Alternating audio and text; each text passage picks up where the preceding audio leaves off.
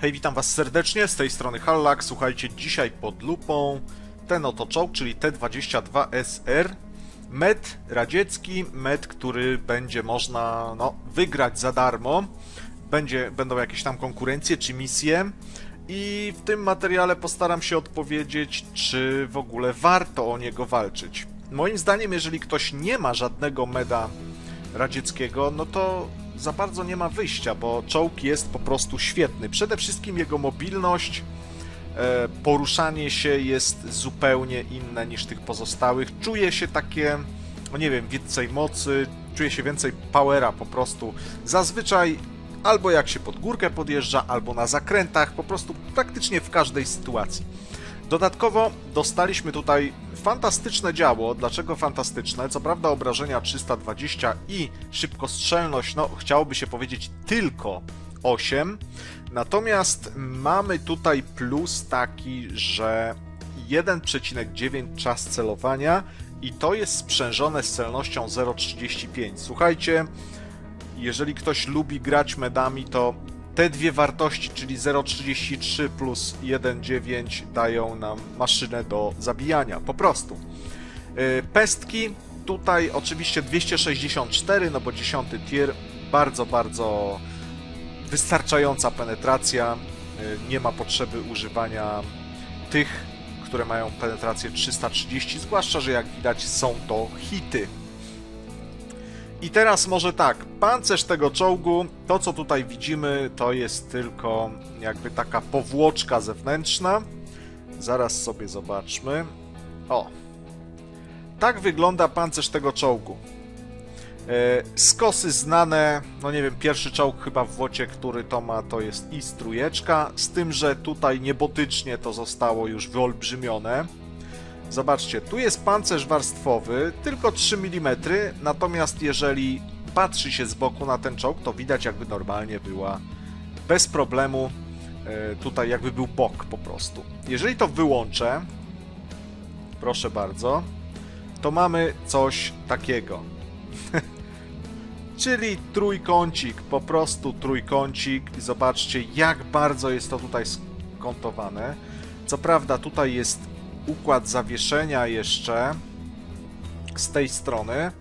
Natomiast jeżeli chodzi o sam pancerz właściwy, no to widzicie. E, czołg idealnie nadaje się do odwrotnego side scrapa, czyli zamiast robić go przodem, robimy tyłem i w tym momencie mamy jeszcze ścięty tutaj przód. Innymi słowy, przeciwnik widzi nasz czołg o coś takiego teraz jeżeli chcę tutaj strzelać, no to musi mieć, zobaczcie, no 700 musiałby mieć milimetrów. Nawet tak, to jest 220, 400, zobaczcie, pod takim kątem 419 mm, żeby tutaj przebić. E, dodatkowo mamy ścięty przód, więc nie jest tak jak w tej sytuacji. Zobaczcie, jeżeli tak się skontujecie, no to jest sporo miejsca na trafiania, prawda? Natomiast jeżeli w ten sposób i tutaj jest jakaś ściana, no to tego miejsca jest jednak mniej. Dodatkowa zaleta tego czołgu to jest brak wystających wyraźnie garnków, czy też włazów, prawda? Zobaczcie, no coś tutaj wystaje, to prawda, natomiast tu jest 181 mm i żeby wstrzelić się, naprawdę trzeba by było nieźle przycelować. Jedyne takie miejsce znajduje się tutaj, natomiast uwierzcie mi, ten czołg jest ruchliwy, więc nawet e, jeżeli go zdetrakujemy, to on może wieżą ruszać i uniemożliwić nam trafienie w to miejsce. E, pancerz warstwowy, to co tutaj widzicie, można go włączyć, osłona działa jest, 160 mm, tutaj za zero wszystko praktycznie łyka, ale uwierzcie mi, dla mnie, co prawda niewiele grałem zarówno tym czołgiem, jak i pozostałymi medami, radzieckimi, ale ten jest najprzyjemniejszy, po prostu najprzyjemniejszy. Opuszczanie działa, ale zresztą do tego zaraz dojdziemy. E, pancerz główny tutaj 100 mm, z tej strony również. Niestety wydawało mi się, że nie powinno tutaj wchodzić, ale kilka razy udało mi się tutaj e, wpakować pestkę, także niestety wchodzi. Tutaj bardzo mocno skontowany, i teraz podstawowa rzecz. Otóż robiliśmy testy na przebijalność, może wrzucę tutaj, Robiliśmy testy, słuchajcie, na przebijalność przedniego pancerza tego czołgu i jest to tragiczne, ponieważ praktycznie wszystko wchodziło. Otóż e, działo o penetracji 200 mm penetrowało mniej więcej tą płytę, no powiedzmy w 70% przypadków. Natomiast działo ISA 3, które ma chyba penetrację 225, każda pestka wchodziła. No i wydawało mi się, że ten czołg jest strasznie miękki. Natomiast o dziwo, oczywiście testy były przeprowadzone w warunkach, że tak powiem, sterylnych, czyli odległość była 150 metrów i e, panowie zaproszeni na treningówkę strzelali mi. Ja nie ruszałem się. Wszystko wchodziło i myślałem, że jest do dupy. Natomiast w grze jest coś zupełnie odwrotnego. To znaczy, no ten czołg nigdy przodem w ten sposób e, niezmiennie, bez ruchu nie stoi. I w grze pancerz sprawdza się idealnie. Czołg bardzo dużo odbija, czołg bardzo dużo łapie za zero.